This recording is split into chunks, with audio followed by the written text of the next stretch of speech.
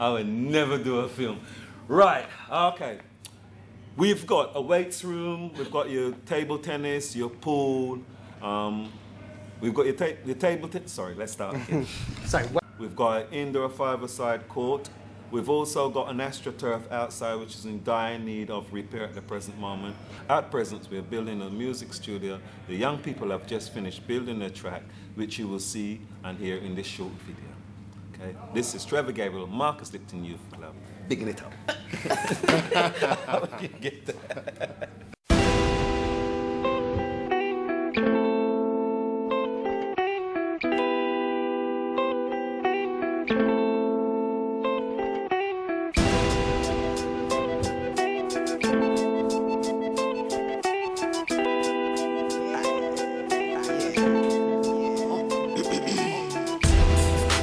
This is the hood life. Far from a good life. Yeah, yeah. Hood life. Far from a good life. Yeah, yeah. This is the hood life. Uh, far from a good life. Yeah, yeah. Hood life. Far from a good life. This is the life that I'm living. Everything's changed up round where I'm living. Bare dons gone and bare friends in the prison. As I got in older, I see things different. Young G's getting them nights from the kitchen. Life's too hard if you're living up in Brixton. Laughter, you can find me right in Lipton. Youths round there got fifths, no fisting. Early in the morning, the pound's what I'm lifting. I swear I hear the birds in the morning singing. Nobody knows what a new day's bringing. A son just died, we don't know what she's thinking. She's blinking, looking like she ain't even thinking. This world up, everybody's there sinning. Trying to change up my lifestyle for the better. Go and get pee and stop watching my cheddar. Let me tell you what my lifestyle is. Mommy's trying so hard just to feed her kids, and I don't help the situation. I'm a bad breed shit, neglecting my mom's love for the love of my script. Seeing pink faces, all amazing. The shanks in my socks, just the way I live. Brick City is the place I live. And Loughborough Junction made me the way I is. Let me tell you what my lifestyle's like. My when we approach, they're talking the ass, hustling, trying to get P from the day to the night. Still my grind, funds low, on my stack soon high. Low peace, on fly, like a plane and fly. I'm gon' blow, so listen to the bars I write. Life's hard to be, I try to right. Life, don't cry if I die, right? This is the hood life, ain't a good life. No 9 to 5, so you better get your hustle right. I'm the hustle type, I hustle man for the trainers and they f wife. Forget bride, I'd rather stay grinding. I ain't slipping, dog, I'm just sliding. RIP Jojo, now I'm screaming, why him? It's a mad thing. I got friends in the can king, doing hard time for a thing. So I get back, man, angry, letting off some mad steam, reminiscing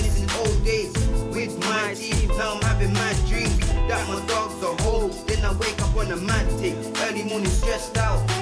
Chico's the best out, I reckon. Chico's the best out. This is the hood life, far from a good life. Yeah, yeah, good life, far from a good life. Yeah, yeah, this is the hood life. Uh, far from a good life. Yeah, yeah, good life. Far from a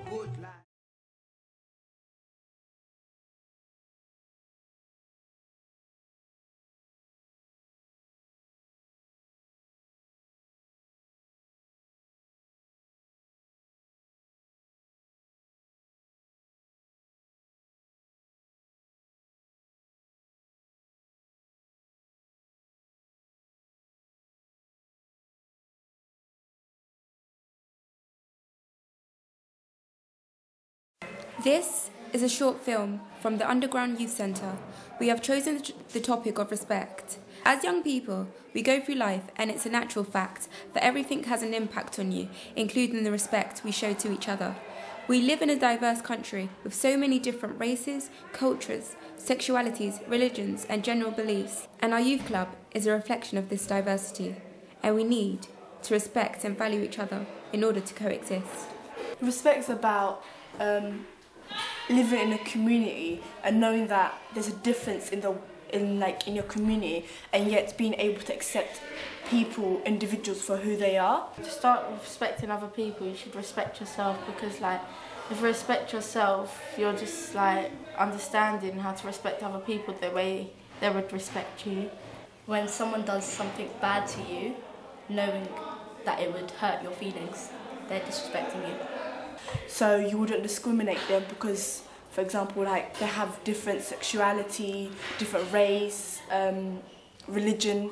My name is Zenobia Talati. I'm the Deputy Youth Worker at the Underground Youth Centre in Islington. As a youth worker, it's quite hard to measure the impact of the work you do, but as I've been working here for quite a long time, I've seen the differences and noticed differences, differences in young people's behaviour and what they've gone on to achieve.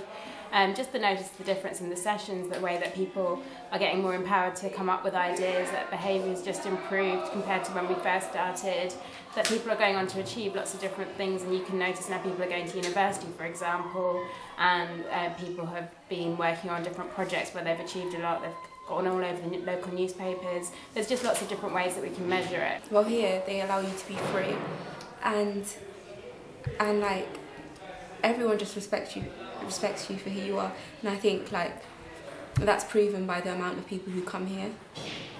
And like young people's talent can be respected by like just complimenting each other, being polite and appreciating different people's talents.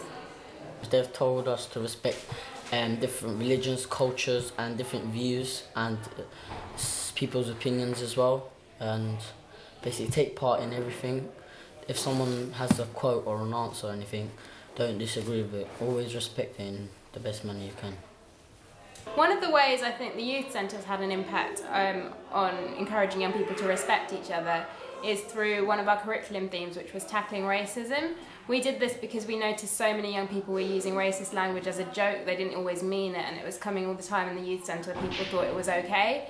And we've done a lot of programs in terms of workshops, posters, discussions, challenging behaviour.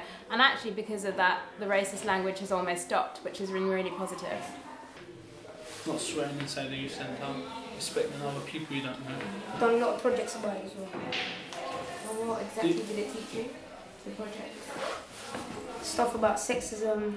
Racism. Um, yeah, like respecting other people, other cultures, stuff like that. In order for the youth centre to grow and have a better impact on young people, probably we'd need more resources in terms of staffing, um, so we can do more publicity, we can be open more because at the moment we're not open every day and that would be a, a great change if, if we had um, more resources in terms of staff and money to open more, offer more activities.